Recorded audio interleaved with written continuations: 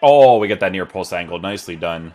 Hey guys, what's going on? Inception here, and welcome to another video. Ladies and gentlemen, we have the new Cristian Tello car to review today. I actually might do this on my main account because he is a former FC Porto player, and he was actually pretty good for us, to be honest with you guys. But for the sake of the review, let's check him out, see what the vibes are with this card. Obviously, with him being a what if upgrade, uh, he could get upgraded in the future for potentially better stats, right? So we have to see what his base characteristics are like and seeing whether or not with the improvement in the future, it could be a good card, right? So he's 5 foot 10, high medium work rates, right right footed, uh, four star skills with a four star weak foot. So right off the bat, we're starting off hard for base card stats.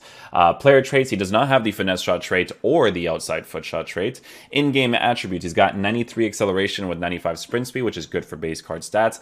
90, 82, 93, 82 long shots with 89 volleys at 80 composure. So the composure, we do want that to be improved in the future um, as much as possible, obviously. Uh, for base card stats, for passing, his passing stats are actually very good. Don't necessarily need to improve that with an engine or anything like that. Um, the main focus with a card like this is going to be improving his shooting and his dribbling as much as possible. Now, obviously, with the marksman chemistry style, we still have the card in the 80s for some of the areas in regards to agility, balance, and reactions. But like I said, guys, if this card gets upgraded, upgraded and it's put into the 90s, we're looking at a card that can dribble really nicely in game, uh, depending on the situation, right? Uh, let's see what the rest of this card's up to. So with dribbling, 87 agility, 88 balance, we will be testing that in game with the 5 foot 10 height while working with the lean body type, right? So the lean body type is a very big deal for potential upgrades in the future as well. Um, what else we got here? Uh, defending the card has no defensive stats. Physical, he's got 72 for strength with 83 stamina and 84 for jumping. So 83 stamina, we do want that to be improved in the future as well if an upgrade were to come through. Real Betis, I believe, are actually doing really well this season. I think they might be in like fifth or sixth place. So potential upgrades with this card for sure, but we're going to be trying him out regardless because we need to see if his base characteristics are good. Uh, with Rafinha's card, right? You know, the card was a, that was like 400k yeah, he could potentially get upgraded, but I didn't like his base characteristics to be a card in the future. And to be honest, I used him even on other people's accounts, and it just really didn't do it for me. So we'll see if Cristian Tello is the same. Uh, even if he's not necessarily a great card to get, I may still get him myself. Again, FC Porto vibes, right? So, uh, and it's a right mid card, so it kind of gives me some good link ups with certain players. But Let's check out this card in game. So obviously I like to use these cards in the cam and striker position to test out their attacking AI, you know, test out their build-up play, all that fun stuff. So we'll just have long ball, pressure on heavy touch. We'll put Cristian Tello up top in the striker position. Uh, the only instruction that we're going to have on, on him is going to be stay forward for all three of the main attackers. We just did the uh, review for Lionel Messi's Player of the Month card, so be sure to check that out if you guys haven't already because oh my goodness. But uh, yeah, let's get into a game, see if this card is any good, and uh, we'll take it from there, boys. A lot of cards to review today. Okay, guys, let's go ahead and switch to the 3-5-2. Let's see what this card's all about, man. Moves to the side position, eh? Okay. So I just wanted to just stop there, because I just wanted to see if he would do anything. Uh, attacking AI movement like that, guys, is uh, is really, really based for, like, left mid, right mids. I want to see if he does that consistently, though.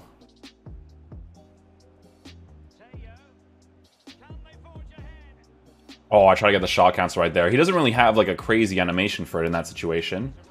But...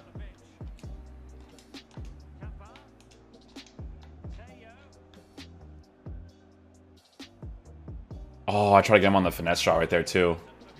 I'm testing out his dribbling a little bit. You do notice that the agility and balance is not crazy high up there. It's just kind of how like the mechanics of the game work. Ooh.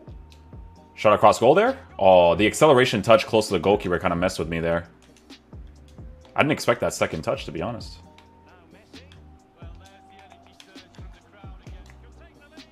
Yeah, just a regular strike from a bad angle right there. Just want to test that out.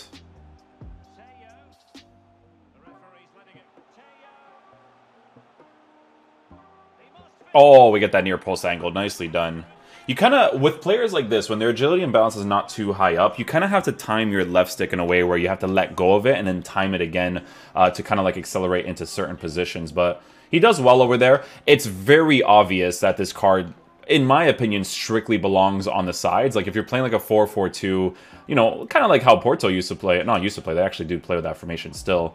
Um, they're Porto's like they they always change it up sometimes, right? It's like a 4-4-2.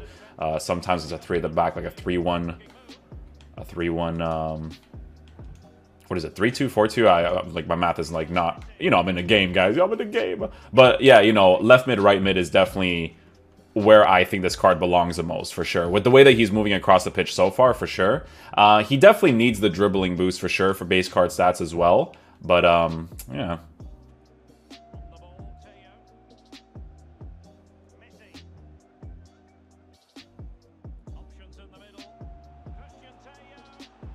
Nicely done. I just have to get that small little touch there for that finesse. But you can kind of see that his reaction time to be able to just take that small little touch was a little bit off, right? And he doesn't really push it too far off, but we're still able to score that, and we get the rage quit. Round two.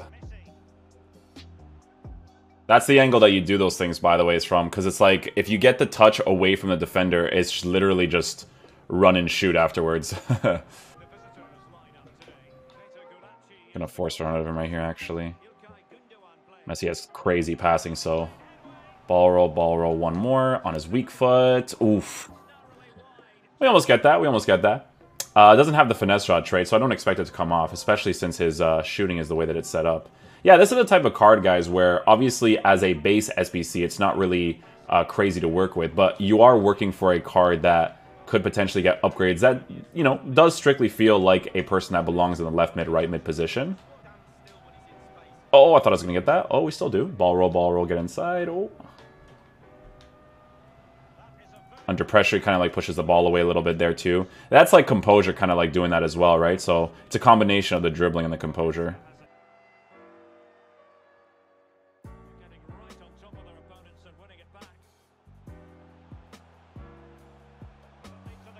Oh, Bar baby. Let's get it, Tello. My boy.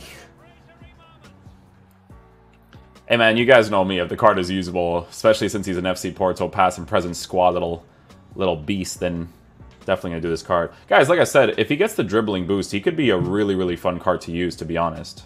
I'd even maybe use him as like my attacking-oriented center mid, you know? Just make sure that you have uh, three midfield set up, like if it's like a 4-1-2 and 2 or something. I'm Gonna force around of him right here again. Time that pass there. Little pass here on the angle. Ah, too much there. Or too little. Empty space here. Ooh, good run right there, though. That was a good run. I like that. Angled on the inside as well. You see that space there? Nice. Oh, man, that dribbling was weird. I wanted him to kind of take a touch from that like initial pass just on the inside of the 18. That would have been perfect. I'm getting used to his attacking AI a little bit more. It's actually like, you know, he's actually doing stuff, which is cool. With cards like this, guys, I'm not saying like to not use them in certain positions, right? I'm just saying where their best positions are going to be. Like with him, it's definitely the left mid, right mid position for sure. But, you know, he's doing the thing. Look. Look at the movement right there. First time strike? Nice, bro. I'd even force that run with him, too. Let's go. This one I'm forcing out of him.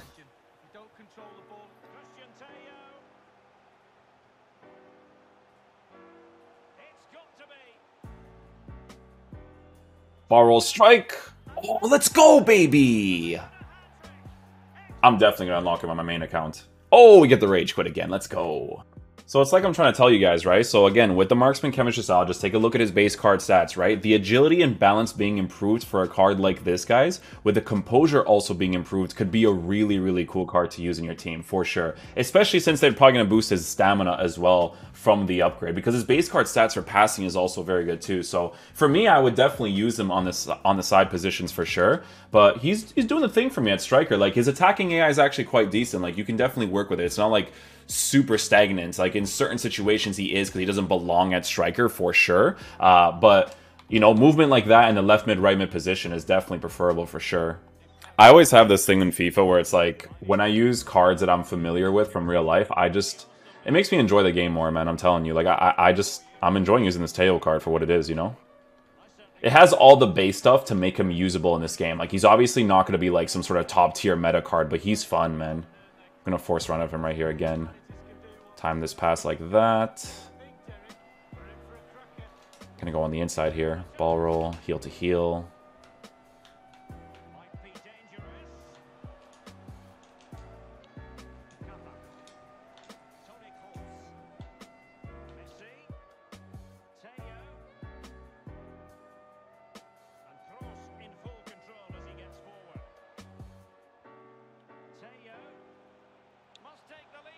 Oh, we get that finesse shot angle. Let's go, man. See, it, with these cards, like I said, guys, you just have to time the left stick dribbling a little bit differently, right? Like, you can't really dribble them like Messi. You kind of have to go, like, let go of left stick, go in. Let go of left, left stick, let go in, you know? Stuff like that. I should put the control on the screen for you guys, actually. I could put it at the top right. It is a little bit distracting, but I think you guys would definitely like it, so... That's the angle right there that I was trying to show you guys earlier. Oh, Tello's got the pace for it, man. Chip.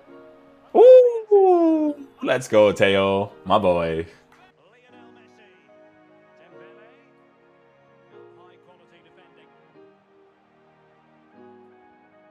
One day, guys, we will live in a world where my three tackles that I just did right there will actually reward me with an interception or a good tackle. One day, guys, one day.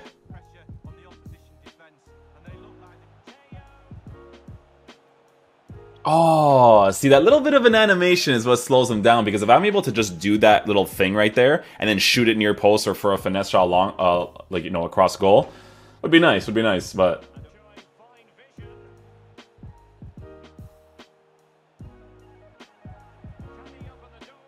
Oh, we actually got that tackle off. No shot. Oh, I did a different skill moment and just registered the heel to heel there. That's weird. Alright guys, so final verdict on this Cristian Tello SBC card. So let's talk about a few things because this is a what if SBC, so it is a card that could potentially get upgraded in the future. I'm going to be honest with you guys, I think he's pretty cool to use. Now obviously for sentimental value, that's one reason why I like him, but not only that, but he's actually incredibly usable in the game. He doesn't feel uh, like a complete nuisance to use. And the reason why I say this and the reason why it's important to say this is because with a card like this, if you give him the dribbling boost in the agility and balance department, right, for base card stats, which is what EA is probably going to do, the card is actually going to be really fun to use. Why? Because he doesn't have an average body type. He has a lean body type, and the lean body type is what really saves this card. Now, you know, you can go back and forth in regards to what chemistry style you should give a card like this. You could totally give him a finisher chemistry style as well, because again, you can even see that if you were to give him the reactions, ball control, and composure boost while working with shooting stats like this, the upgrade is going to be a very, very huge welcome upgrade on a card like this because of that lean body type, right? So it makes a huge difference for a card like this. Will you be unlocking this card for some sort of meta variable? Absolutely not. He's not going to be like a meta card by any means, but he has all the base card stuff to be usable in this game, right? The four star, four star dribbling, if if he gets improved, will be actually really nice because of the lean body type. Five foot ten height's pretty decent. Stamina being increased to maybe like an 86 would definitely be very nice. Uh, it's an incredibly usable version of himself, you know. But uh, it's a card that I actually might complete on my main account because it's nice for the FC Porto past and present squad, and I thought he was cool, man. So yeah, if you want to do it for that reason, sure, but he's not going to be like a meta card by any means, right? So yeah, hopefully you guys enjoy this video. I'll catch you guys for the next one. Peace out, dudes. Love you guys.